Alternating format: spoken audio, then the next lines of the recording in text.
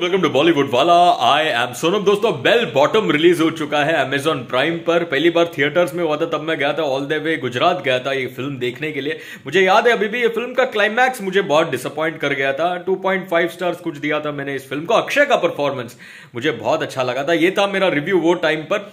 Of course Amazon prime पे जिस किसी ने भी देखा है, दोस्तों, आप लोग मुझे बताना.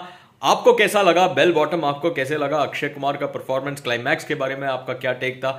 और बाकी जो भी आपको लगा फ़िल्म के बारे में, वो लिखकर बताना, क्योंकि जब थिएटर में रिलीज़ हुआ था, बहुत सारी जगहों पर तो रिलीज़ नहीं हो पाया था।